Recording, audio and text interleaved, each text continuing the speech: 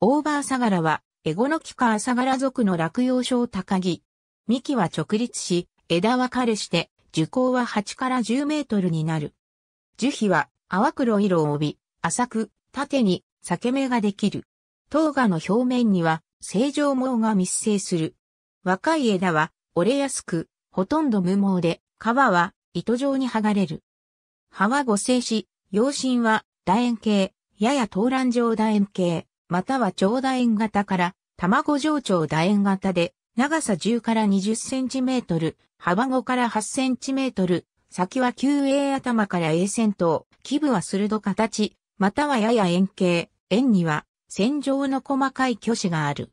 葉質は薄く、裏面は開白色で微細な正常毛に覆われ、特に葉脈沿いに白長毛があり、主脈と8から12体の側脈が隆起する。葉柄は長さ5から 22mm になる。夏季は6月。枝の先端に垂れ下がった円錐果樹をつけ、果樹は長さ13から20センチメートルになり、下向きに白色の花を多数つける。花柄はごく短い。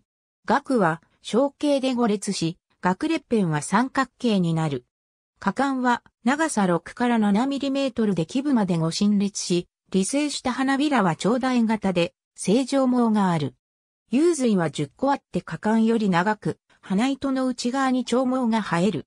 死髄は1個でおしべより少し長く、先端部以外に長毛がある。果実は京東卵系の角化となり、宿損する額に包まれ、長さ約 7mm で重量があり、泡褐色の長毛が密生し、先端に長いくちばし状の花虫が残存する。日本では本州、四国、九州に分布し、山地の谷沿いに生育する。国外では中国大陸中部に分布する。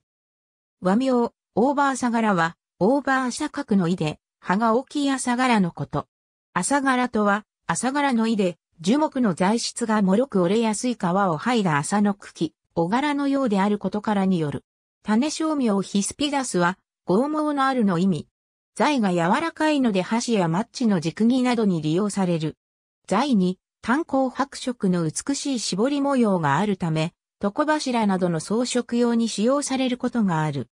ありがとうございます。